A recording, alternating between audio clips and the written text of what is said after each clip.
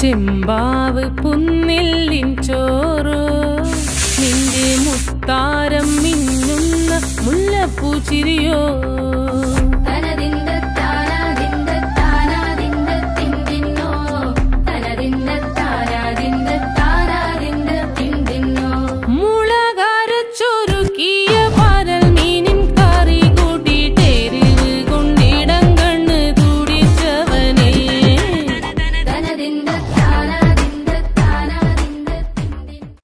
കുട്ടിക്കാലത്തെ മസാല ദോശയോട് നമുക്ക് എല്ലാവർക്കും പ്രിയണ്ടാവും എന്റെ പ്രഭാത ഭക്ഷണത്തിൽ എനിക്ക് തോന്നുന്നു ആഴ്ചയിൽ രണ്ടോ മൂന്നോ ദിവസം ഈ നിലല്ല മസാല ദോശ ഇടം പിടിക്കാറുണ്ട്.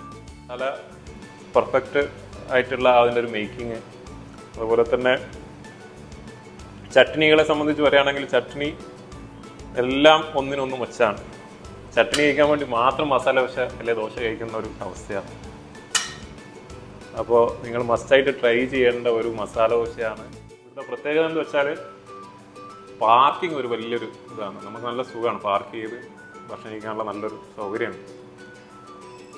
അപ്പോൾ ഇതൊരു ഫുഡ് റിവ്യൂ ആയിട്ടൊന്നും ഒക്കെയല്ല എന്റെ ഒരു ഡേ ടു ഡേ ലൈഫിലുള്ള ഒരു ഭക്ഷണമായതുകൊണ്ട് ഇതിനൊന്ന് നിങ്ങൾക്ക് മുമ്പിൽ അവതരിപ്പിക്കണമെന്ന് തോന്നി അങ്ങനെ അവതരിപ്പിക്കുകയാണ്. അപ്പോൾ ഭക്ഷണം കഴിക്കട്ടെ.